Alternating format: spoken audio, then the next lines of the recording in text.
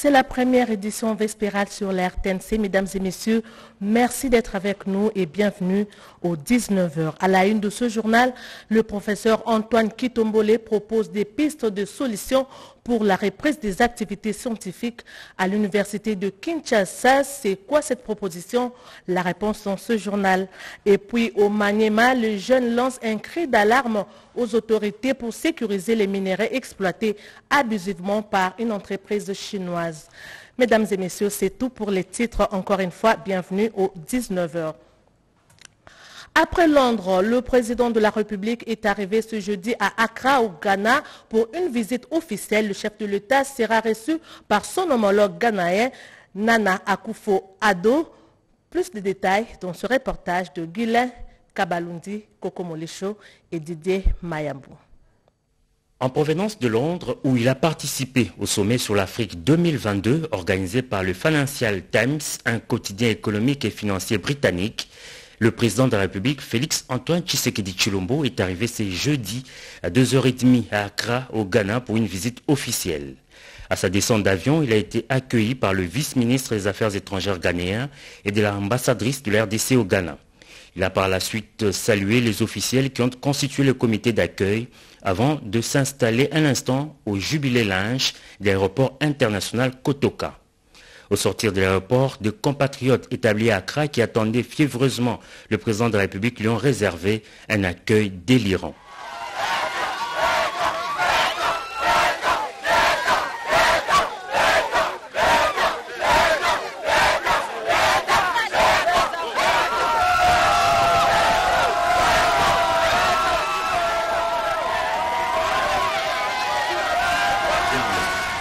Et c'est dans cette ambiance de joie que le cortège présidentiel s'est ébranlé. Direction Kempiski Hotel d'Accra, où les chefs de l'État et sa suite ont érigé leur quartier général.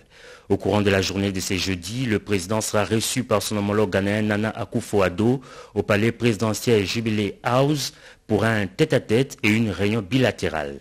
Ces deux dirigeants africains pourront à cette occasion poursuivre les entretiens entamés à Rotterdam aux Pays-Bas lors du sommet de septembre dernier sur l'adaptation de l'Afrique au changement climatique. Une conférence de presse va sanctionner les entretiens entre les deux chefs d'État. Fervent défenseur d'une Afrique intégrée, le président Tshisekedi devra visiter en fin de journée le secrétariat de la ZLECAF, zone des libre-échanges continental africains, dont le siège se trouve dans le pays de Kwame. Et puis le président Félix Antoine Tshisekedi Chilombo a quitté Londres en début de soirée d'hier, mercredi. Bien avant son départ, le chef de l'État a été reçu par le roi Charles III. Patrick Michel Moukoui, reportage. Les touristes du Buckingham Palace maîtrisent bien le rituel. Le déplacement de ce garde d'honneur annonce toujours l'arrivée d'un hôte. Quelques instants plus tard, le cortège de Félix Antoine Tshisekedi franchit la barrière du palais. Le président de la République démocratique du Congo, chaleureusement accueilli par le souverain britannique, va passer plusieurs minutes en tête à tête avec ce dernier. Un entretien essentiellement centré sur une coopération que les deux personnalités souhaitent raffermir dans le domaine notamment de l'environnement. Le président Tshisekedi a saisi cette occasion pour exhorter la Grande-Bretagne par son roi à faire pression sur le Rwanda avec qui elle partage l'espace du Commonwealth pour que ce dernier mette fin à l'agression injustement imposée à la RDC. Après cette rencontre, les discussions vont se poursuivre entre les délégations de deux pays. Question de mûrir les acquis de cette rencontre. Et c'est peut-être une nouvelle page qui s'ouvre dans les relations entre la République démocratique euh, du Congo et la Grande-Bretagne. Cet entretien entre le président Félix-Antoine Tshisekedi et le roi Charles va-t-il aider la République démocratique du Congo à faire accepter sa logique au monde? Ça, on le saura, on l'espère, très vite.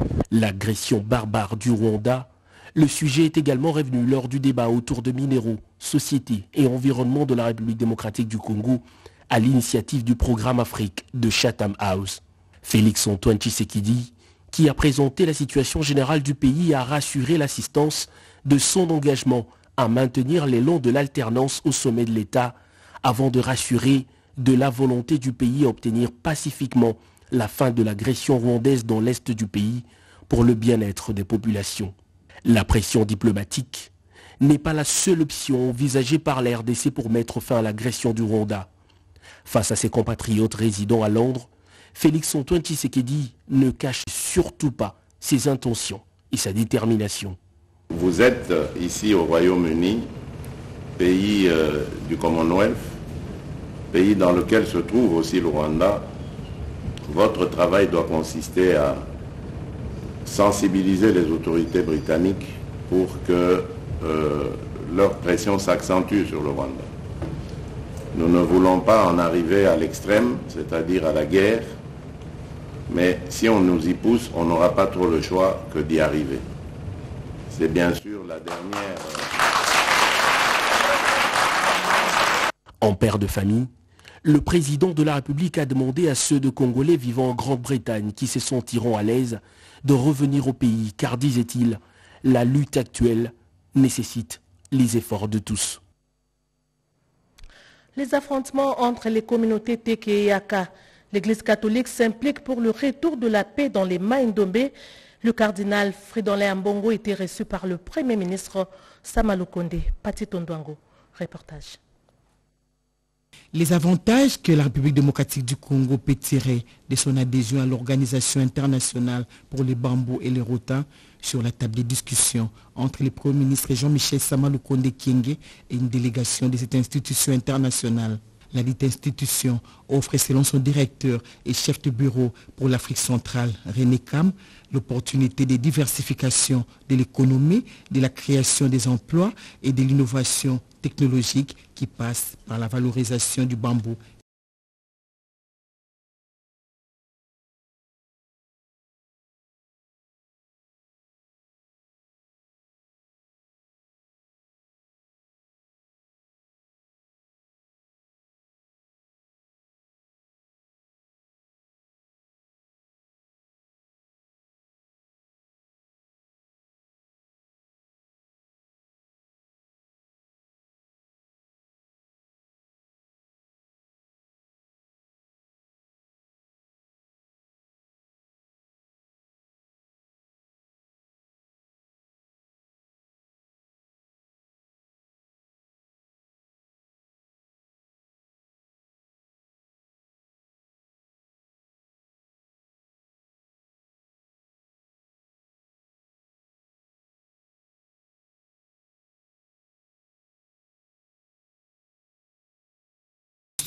les départements juridiques pour qu'un projet de loi soit mis sur pied. Une fois ratifié, la République démocratique du Congo pourra donc adhérer au sein de cette institution internationale.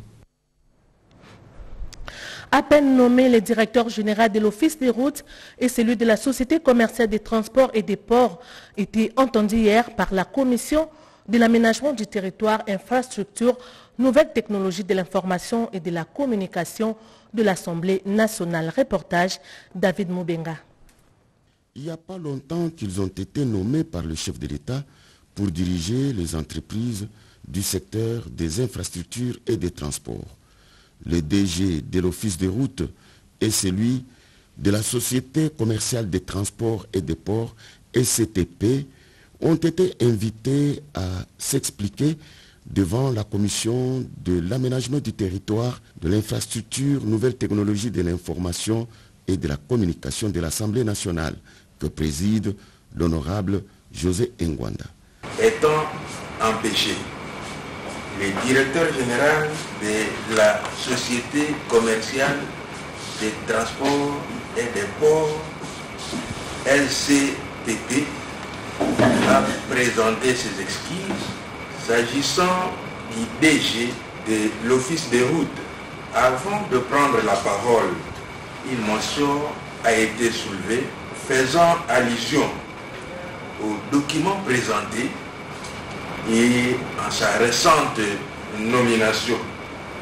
Il est impérieux qu'on lui accorde un temps afin de venir présenter des réponses à la hauteur et l'entreprise. Aussi, le comité de gestion de l'Institut supérieur de commerce IEC vient d'organiser sa première réunion sur le cahier de charge de cet institut avec la délégation syndicale, une réunion présidée par le professeur Émile Ngoy. Iverson Kabwaba. L'évaluation du contenu des cahiers des charges qui porte sur l'amélioration de l'éducation, l'amélioration de l'administration, l'organisation d'études sont là les points essentiels évoqués au cours de la première réunion paritaire du comité de gestion de l'Institut supérieur des commerces avec la délégation syndicale. L'objectif est de rendre transparente la gestion de cet établissement de l'enseignement supérieur et universitaire, a souligné le professeur Émile Ngoïka Songo, directeur général de alma mater.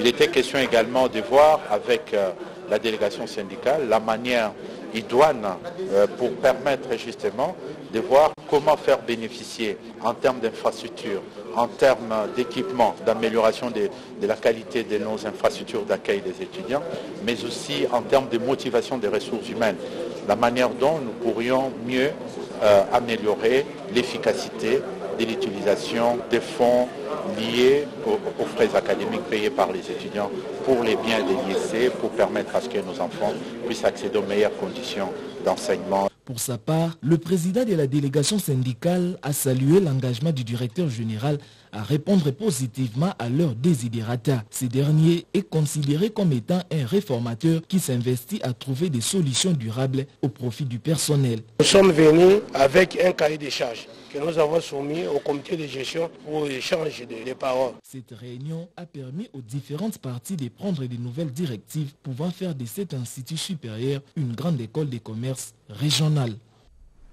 Je l'ai dit en titre, un point de presse a été organisé à l'université de Kinshasa. Le président, les présidents honoraires de l'APOKIN, le professeur Antoine Kitombole, proposent des pistes de solutions pour la reprise des activités scientifiques. Grâce Maoso.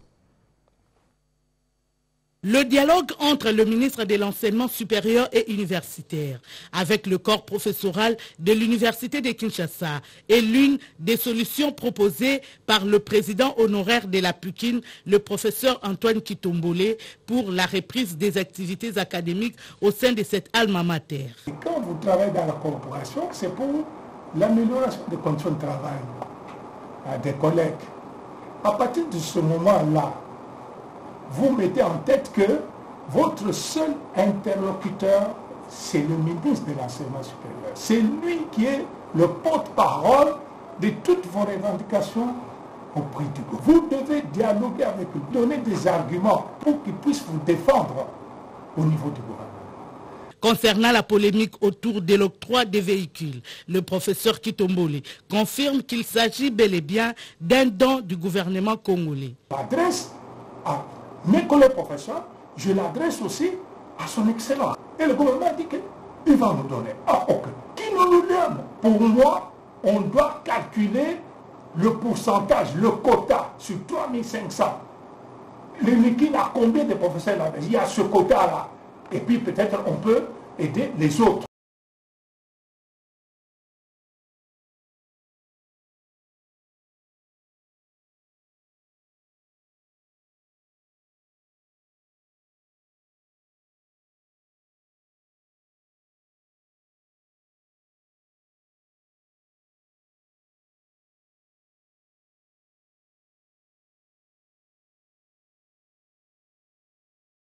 Et Diane Balaka signe ce reportage. Après débat et délibération à huis clos, le jury s'est prononcé. Louis Lou Mafouen, Jean-Pascal, chef de travaux en sciences de gestion, obtient la mention grande distinction. Des insignes, diplômes et grades lui ont été conférés par le recteur de l'Université pédagogique nationale UPEN pour sa brillante thèse sur le financement des activités génératrices des revenus dans un contexte d'insécurité. Cas des survivantes des violences sexuelles dans l'Est de la République démocratique du Congo. L'intitulé de la thèse de doctorat soutenue par le chef des travaux, Louis Loumafoueni, circonscrit la problématique du financement des activités dans le contexte d'insécurité et en donne les réponses. Il est désormais docteur après son brillant exposé en public devant le membre du jury et l'assistance venue pour la circonstance. Notre pays est déchiré depuis euh, plus de trois décennies par euh, des guerres euh, multiformes, des conflits armés de tous genres. Et très souvent, ce sont les femmes, les jeunes filles et les petites filles qui sont victimes de violences sexuelles. Il faut euh, plus en plus, n'est-ce pas, accorder à ces femmes des moyens nécessaires, importants, colossaux pour pouvoir s'autonomiser. Et le financement doit tenir compte de plusieurs paramètres, notamment sur les plans financiers. Il faut calculer la valeur actuelle nette. Il faut faire beaucoup de calculs qui permettent à ce qu'on sache a priori quelles sont les séquences de cash flow, quels sont les montants qui seront générés par ces montants investis, alors qu'au niveau euh, national, ces calculs ne sont pas faits? C'était soutenu dans le domaine du financement d'activités génératrices des revenus dans un contexte d'insécurité, enrichir les des bibliothèques.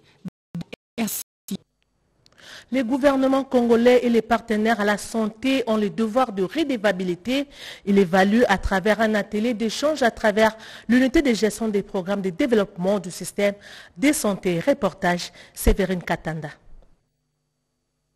Pour une mise en œuvre effective du programme du gouvernement dans son volet santé universelle, des partenaires à la santé et les ministères de la santé publique se font un devoir, celui de redévabilité. À travers l'unité de gestion de programme de développement du système de santé UGPDSS, le gouvernement congolais évalue les projets financés à travers la Banque mondiale pour intensifier les interventions dans le domaine de la santé en RDC. Pour ce faire, un atelier d'échange et partage d'informations avec avec le partenaire s'est ouvert à Kinshasa le 20 octobre 2022 pour évaluer l'exécution des différents projets. Euh, il était question qu'au niveau du secrétaire général, nous puissions avoir euh, une idée sur tout ce financement. nous devons nous rassurer que effectivement tout ce qui est mis en œuvre comme intervention au travers de ces différents projets sont menés selon les objectifs du gouvernement. Des progrès constatés certes, mais beaucoup reste encore à faire et la Banque mondiale propose cet exercice d'évaluation pour chaque trimestre. Vous avez vu dans le monde, on a beaucoup insisté sur le fait qu'on sort des recommandations très opérationnelles. L'idée, c'est de pouvoir accélérer euh, la mise en œuvre des activités pour atteindre des résultats sur le terrain en termes de changement de la qualité de vie des populations. Et je crois qu'un comité va être mis en place pour essayer justement de comprendre les goulots d'étranglement et comment on va les solutionner ensemble. C'est au terme de ces travaux qu'une estimation des interventions sera dégagée, bien que le résultat sur le terrain sont déjà palpables. Un plan stratégique national de communication et prévention pour bien lutter contre la drépanocytose. C'est le résultat de l'atelier organisé par les directeurs du programme national de lutte contre la drépanocytose dans la commune de Mongafula, Rodepanda. La drépanocytose, véritable problème de santé publique, elle constitue en soi une priorité. Déjà en décembre 2008, lors de la 63e session de l'Assemblée générale des Nations Unies, une résolution A63-251.155 a été prise engageant ainsi les États dans la lutte contre la drépanocytose. C'est toute la motivation de cet atelier de trois jours organisé sur initiative du Programme national de lutte contre la drépanocytose, en présence du représentant du secrétaire général à la santé, le docteur Koumesso Ambras, pour élaborer le plan stratégique de communication et prévention de cette pathologie. Du 16 au 19 octobre 2022, plusieurs participants venus de différents programmes et directions de santé, y compris ceux du secteur des médias, se sont retrouvés à l'hôtel en vrac dans la commune de Mongafola pour produire ces documents référentiels qui comprend la période allant d'octobre 2023 à 2027. Trois chapitres ont constitué l'essentiel de la matière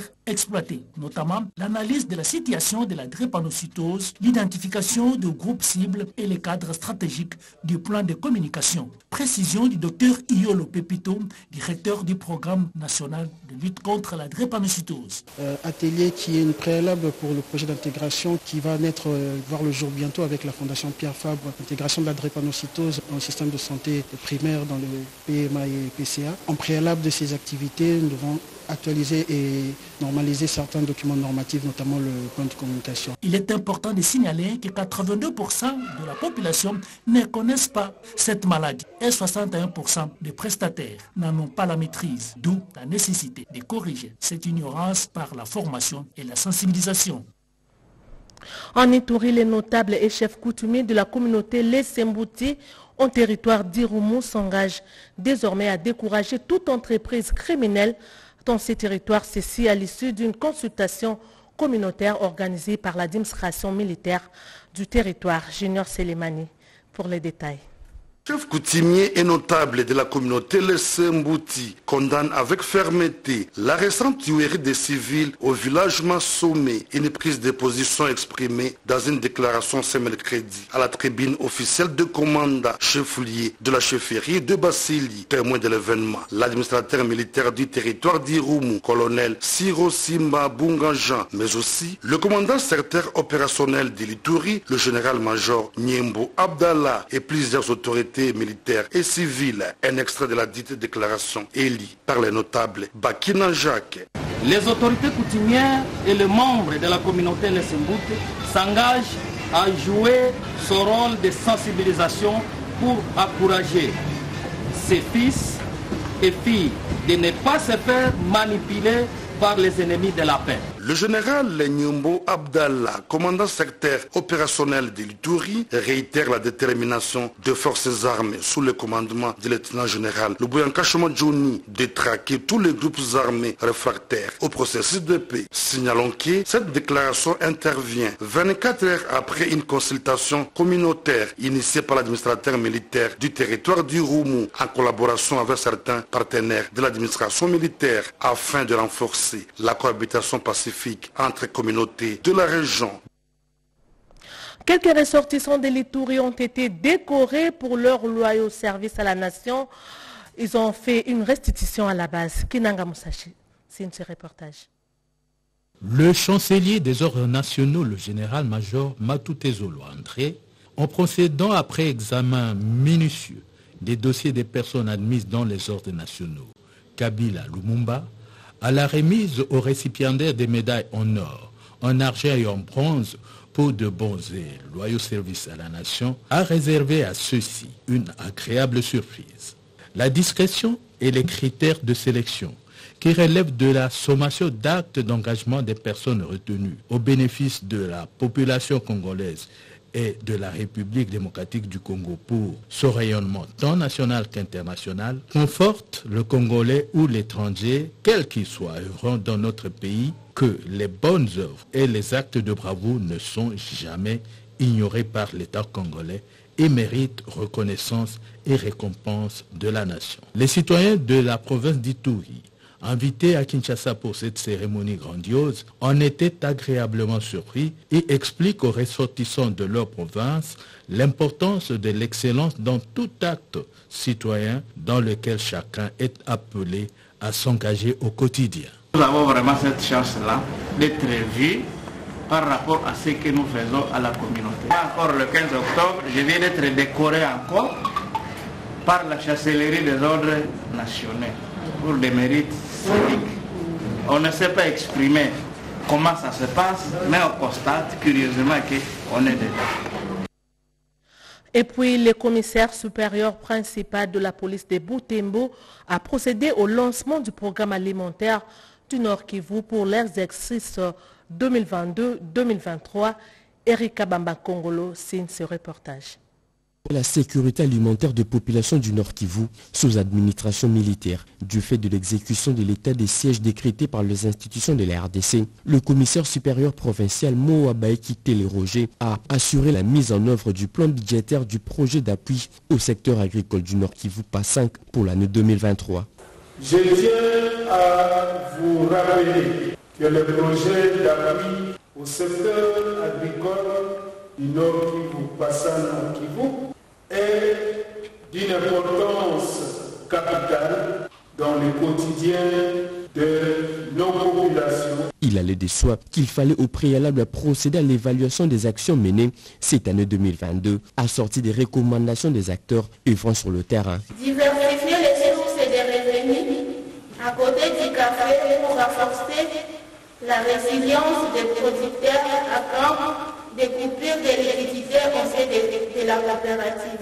Le dessert agricole constitue, suivant le programme en exécution, une priorité avec les 450 km des axes retenus. Nous voulons démarrer 416 km à réhabiliter répartis dans 5 territoires, Beni, Lubero, Massissi, Ruchuru, Niragongo et nous allons faire l'effort d'étendre nos actions à Walikale en 2023. 2023, nous allons aussi construire entrepôts. La députée provinciale du Tanganyika a clôturé ses vacances parlementaires dans sa circonscription électorale de Manono où elle a eu à récolter les désidératas de ses électeurs et appuyer quelques structures sanitaires et écoles de la place. Regardez. Partant du programme de développement des 145 territoires initié par le chef de l'État Félix Antoine Tshisekedi Chilombo et mis en place par le chef du gouvernement Jean-Michel Samalou Kondé qui vise à réduire les inégalités spatiales et redynamiser les économies locales, la députée provinciale élue du territoire des Manono dans la province du Tanganyika, Wangoy Marie-Thérèse, a retrouvé sa circonscription électorale pour y récolter les désidératas de ces populations. Dans le lointain encadure du territoire des Manono, l'honorable Marie-Thérèse a rencontré les différentes couches sociales pour s'imprégner des difficultés et réalités auxquelles elles font face au quotidien, notamment la recrudescence des cas de vol à main armée, le social, ainsi que la question de l'exploitation de lithium qui devrait la chronique.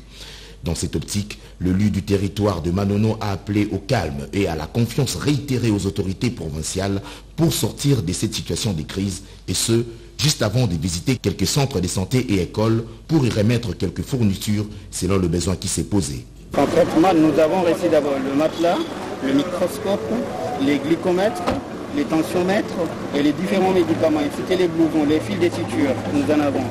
Et vraiment, nous remercions beaucoup l'honorable L'honorable Wangoy Marie-Thérèse a tenu à assister au centenaire de la paroisse Sacré-Cœur du village Ankoro qui a connu l'ordination des trois prêtres.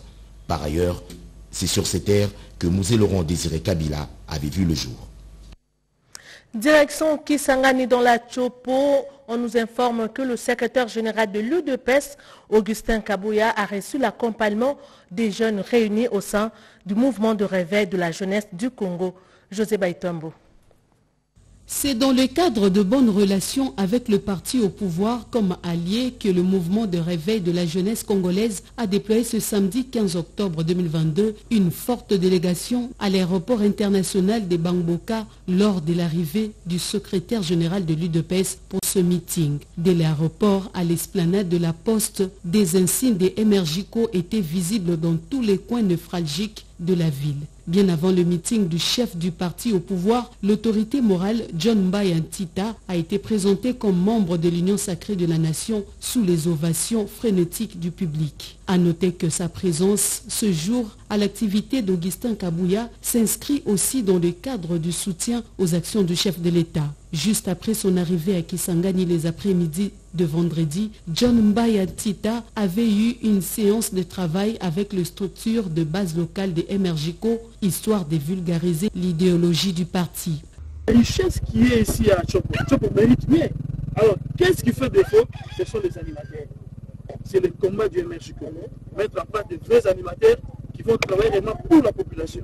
Il faut changer la classe politique. Il faudrait mettre en place une nouvelle classe politique qui mettra Dieu au centre de leurs activités et qui aura un sens élevé du patriotisme. Le MRJCO à Kisangani, un pari gagné est bientôt sur toute l'étendue du territoire national. L'enjeu étant de faire valoir Félix Tshisekedi à la magistrature suprême dotée d'une majorité écrasante aux législatives.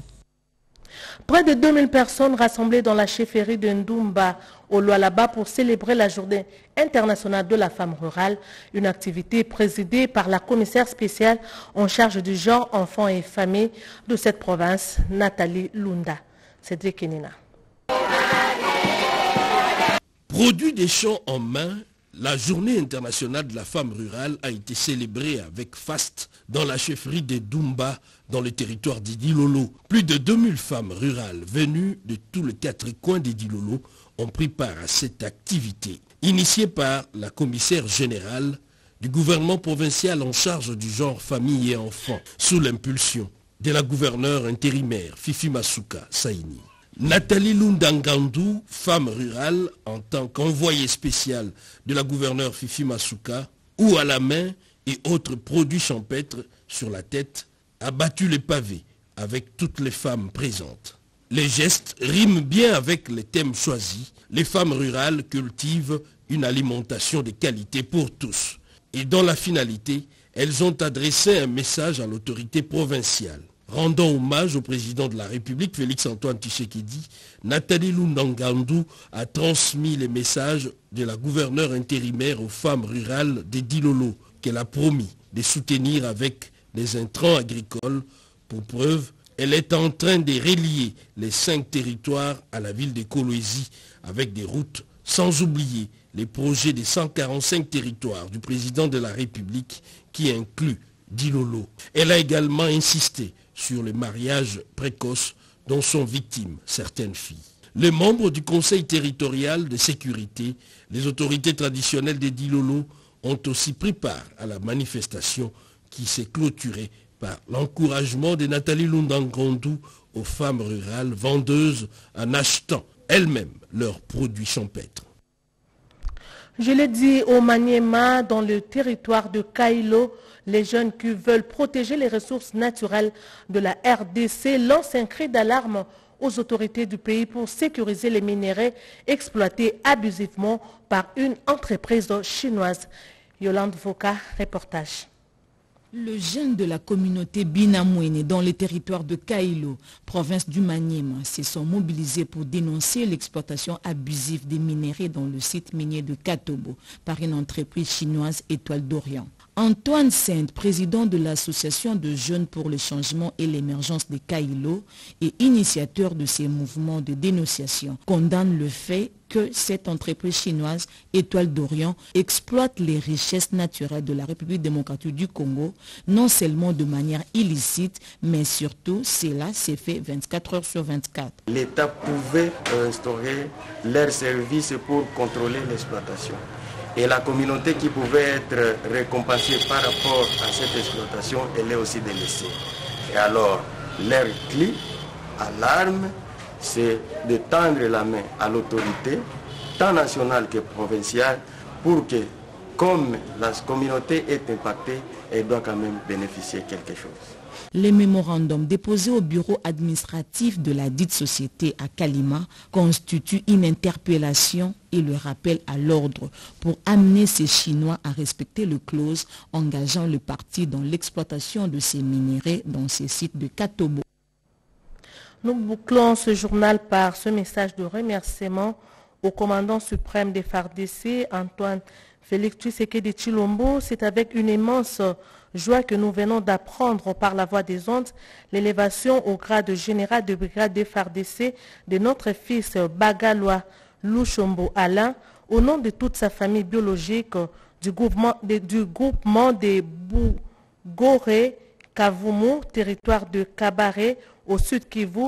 Nous vous exprimons nos remerciements les plus votre, à votre Excellence pour cette haute marque de distinction que les très hauts l'accompagne dans cette lourde responsabilité, signé Bougouré Kavumu Mathieu Yalire. Voilà, c'est la fin de cette édition réalisée par Yolande Voka, écrite par Karen Kankolongo. Je vous retrouve demain à la même heure et avec le même plaisir. D'ici là, portez-vous bien.